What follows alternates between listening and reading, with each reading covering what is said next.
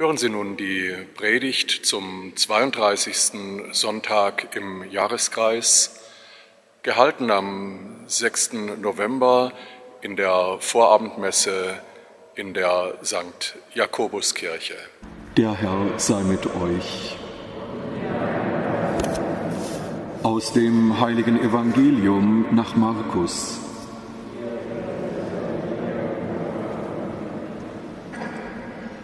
In jener Zeit lehrte Jesus eine große Menschenmenge und sagte, Nehmt euch in Acht vor den Schriftgelehrten. Sie gehen gern in langen Gewändern umher, lieben es, wenn man sie auf den Marktplätzen grüßt, und sie wollen in der Synagoge die Ehrensitze und bei jedem Festmahl die Ehrenplätze haben. Sie fressen die Häuser der Witwen auf, und verrichten in ihrer Scheinheiligkeit lange Gebete. Umso härter wird das Urteil sein, das sie erwartet. Als Jesus einmal dem Opferkasten gegenüber saß, sah er zu, wie die Leute Geld in den Kasten warfen. Viele Reiche kamen und gaben viel. Da kam auch eine arme Witwe und warf zwei kleine Münzen hinein. Er rief seine Jünger zu sich und sagte, Amen, ich sage euch, diese arme Witwe hat mehr in den Opferkasten hineingeworfen als alle anderen. Denn sie alle haben nur etwas von ihrem Überfluss hineingeworfen. Diese Frau aber, die kaum das Nötigste zum Leben hat, Sie hat alles hergegeben, was sie besaß, ihren ganzen Lebensunterhalt. Evangelium unseres Herrn Jesus Christus.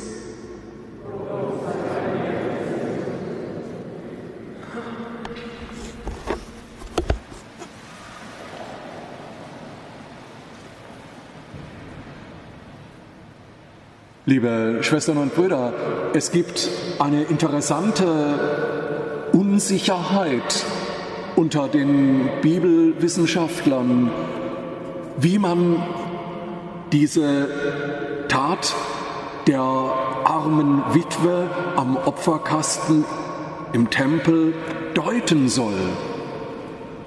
Wird sie von Jesus als ein positives Beispiel dargestellt? Sagt Jesus uns, ja, so solltet ihr es auch machen wie diese arme Witwe.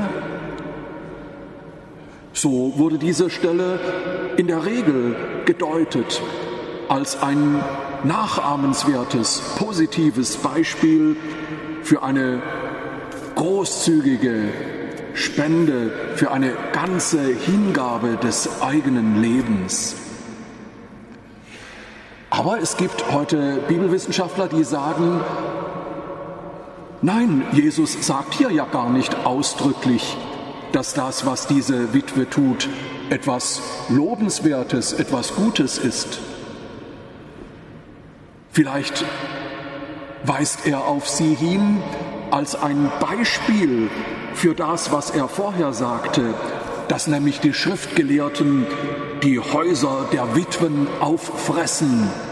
Und diese arme Witwe wäre dann sozusagen ein Opfer der Manipulation durch die Schriftgelehrten und Priester im Tempel.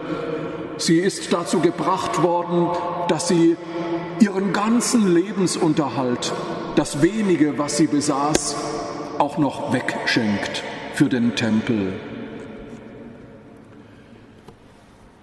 Diese Deutung wird ja zunächst einmal dadurch unterstützt, dass wir doch wohl alle irgendwie erschrecken über das, was diese Witwe tut. Den ganzen Lebensunterhalt weggeben, das ist doch unvernünftig. Das sollte man doch nicht tun. Das kann doch niemand verlangen. Wenn ich als Pfarrer Ihnen sagen würde, heute bei der Kollekte im Gottesdienst, da sollen sie alles spenden, was sie besitzen, ihren ganzen Lebensunterhalt.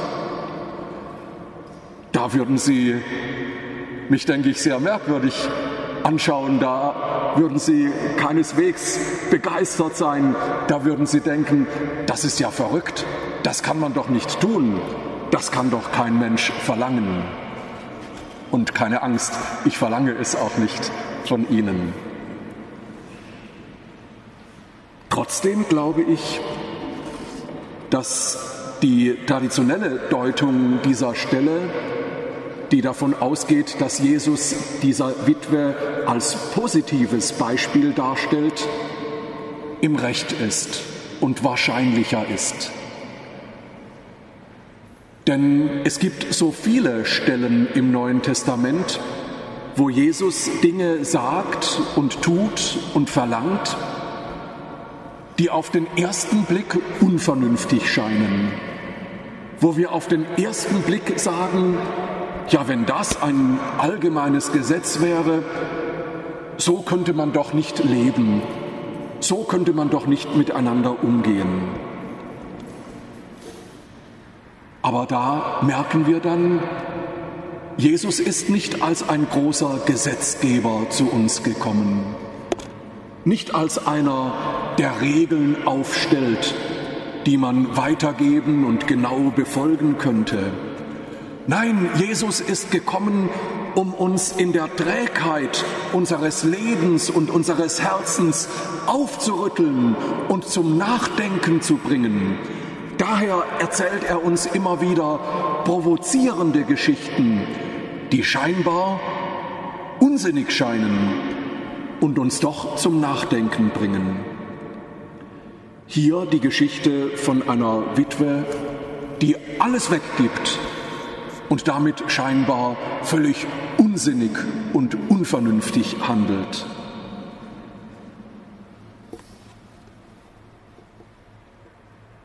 Wie könnte uns diese Geschichte zum Nachdenken bringen?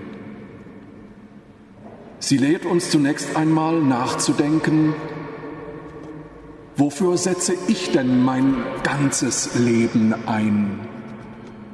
Was ist für mich denn das Allerwichtigste? Wo würde ich sagen, da bin ich rückhaltlos dabei? Da bin ich ohne Reserve dabei. Das ist mir so wichtig, dass ich alles dafür einsetzen würde. Und ist das dann wirklich das entscheidend Wichtige, für das ich alles einsetzen würde? Ist es wirklich das Zentrum meines Lebens?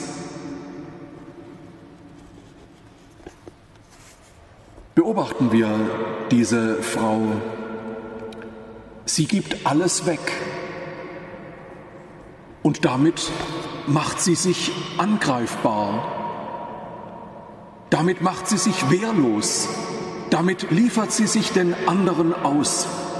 Denn sie ist nun auf Hilfe angewiesen. Sie ist nun darauf angewiesen, dass andere sie unterstützen. Aber hat nicht Jesus ganz genauso gelebt und gehandelt?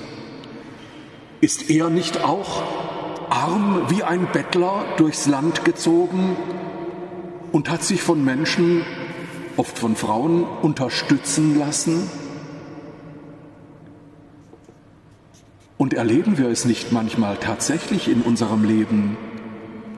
Dort, wo wir Sicherheiten aufgeben, dort, wo wir uns nicht mehr absichern gegenüber allen möglichen Risiken, Dort begegnen wir tatsächlich immer wieder auch der Großzügigkeit von Menschen.